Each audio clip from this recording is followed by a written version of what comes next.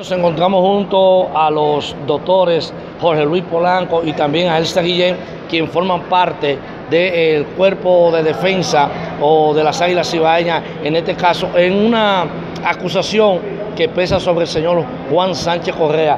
¿Cuál es la situación en el día de hoy? Se iba a conocer una conciliación, eh, ¿qué pasó? ¿Cuál es la situación? Pasó que el señor Juan, Juanchi Sánchez tiene una serie de situaciones de salud y por esa razón no se, no se pudo conocer en el día de hoy y se pospuso para el 10 de mayo. ¿Qué esperan ustedes de esta situación? ¿Cuál es la situación real que está sucediendo? Porque sería importante que el país sepa lo que sucede alrededor de un equipo tan emblemático como las Águilas Cibaeñas. Bien, mire, eh, la situación, primero, la audiencia de hoy era una audiencia de conciliación, o sea que en el día de hoy no era que se iba a conocer la responsabilidad o no de ese señor, sino para indagar si había posibilidad de un acuerdo. Lo que ocurrió con Juanchi Sánchez es que él utilizó bienes de la compañía eh, y los comercializó a terceros sin haber sido autorizado a ello y sin ser de su propiedad.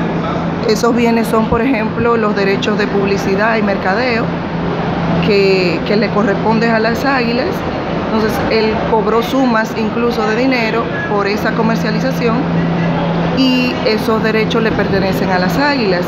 En nuestro derecho eso se llama abuso de bienes sociales, porque él utilizó los bienes de la empresa de Águilas Cibaeña en beneficio exclusivo de él y de una empresa de él, JB Sánchez Correa. ¿Y ha habido un acercamiento entre ustedes para tratar de conciliar eh, fuera del tribunal?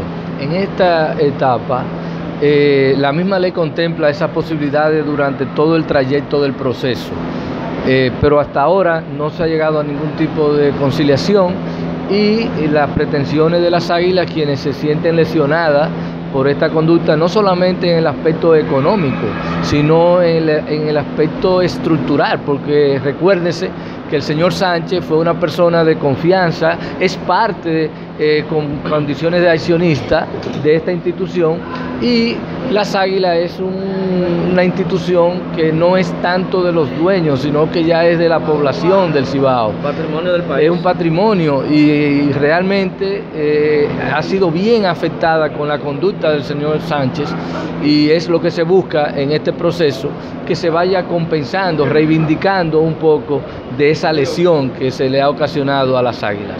Bueno, finalmente vamos a repetir la fecha para cuando eh, fue pospuesto el caso. 10 de mayo.